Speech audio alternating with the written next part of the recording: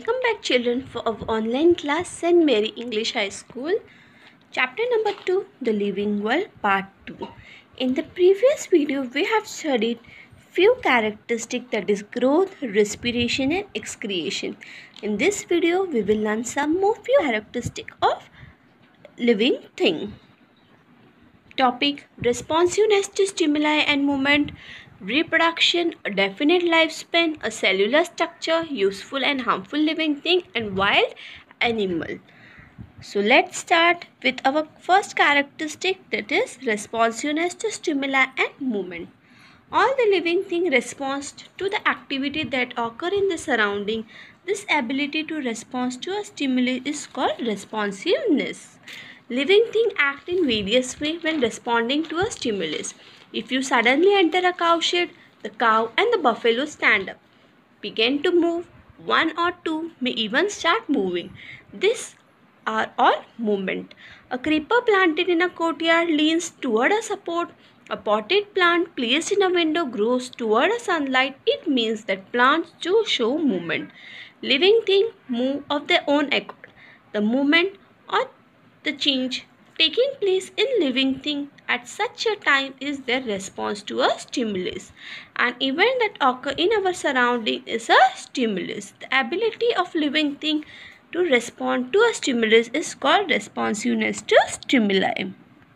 Have you experienced this? Light flash suddenly in your eyes. What happened? We react to it. We blink our eyes. The leaves of mimosa plant were touched I hope everyone has seen the mimosa plant. What happened when we touch it? It closed their leaves. Reproduction.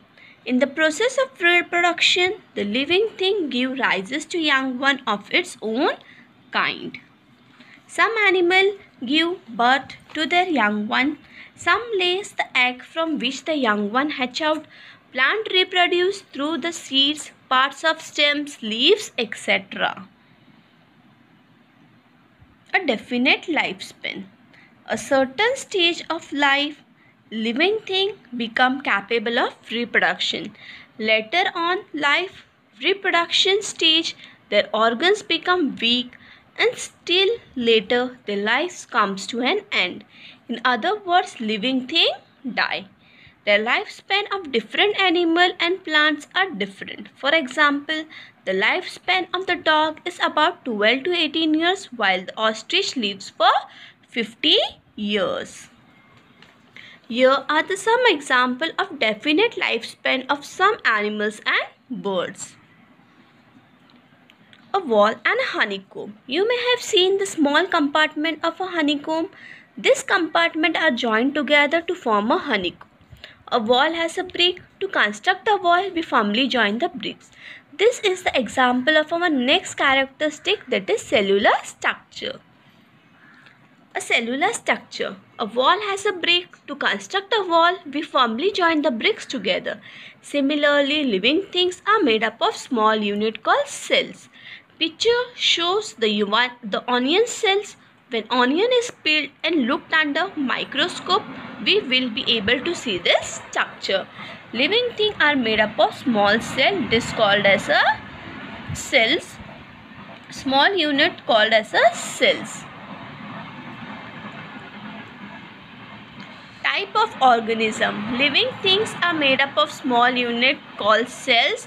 They are divided into two part that is unicellular organism and multicellular organism. Unicellular organism are the organism that are made up of one cell and multicellular organism that are made of more than one cell. In this way we have completed our characteristic of living thing that is growth, respiration, excretion, responsiveness to stimuli and movement, reproduction, a definite lifespan and a cellular structure. Moving further, we will see about useful living thing. Useful plants.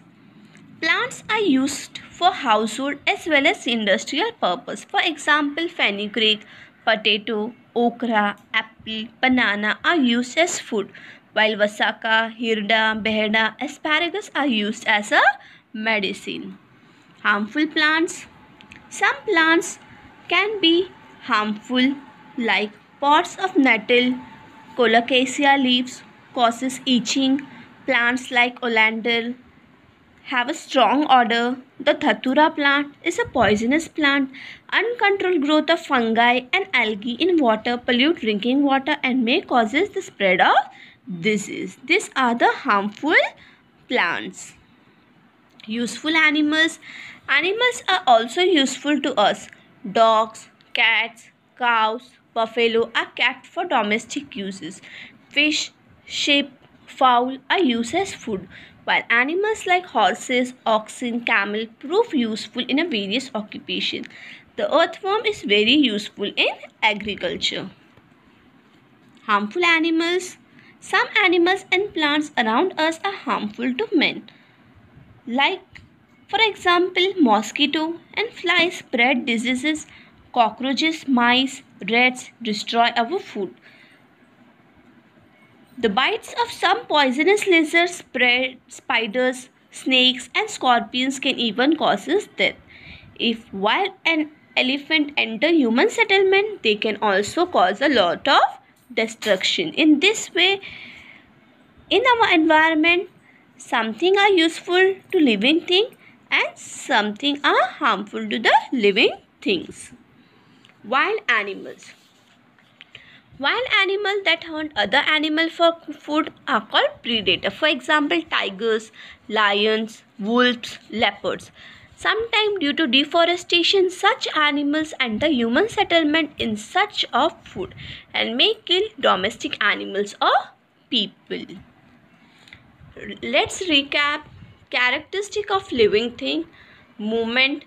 All living thing move, plan to move in various different way Responsiveness to stimuli such as light, water, temperature, gravity and chemical substances, reproduction, produce living thing like themselves a cellular structure made up of small unit called cells. Thank you.